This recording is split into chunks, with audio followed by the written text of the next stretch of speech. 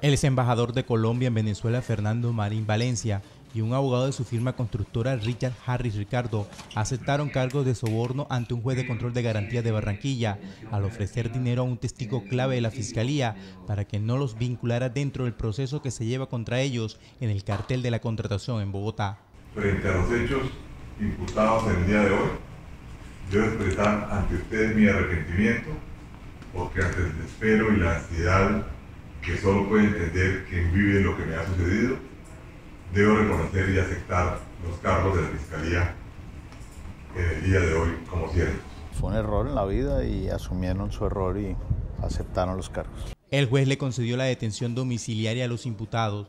Harry Ricardo cumplirá la medida en su residencia en el barrio Miramar de Barranquilla y Marín Valencia será trasladado a su apartamento en Bogotá.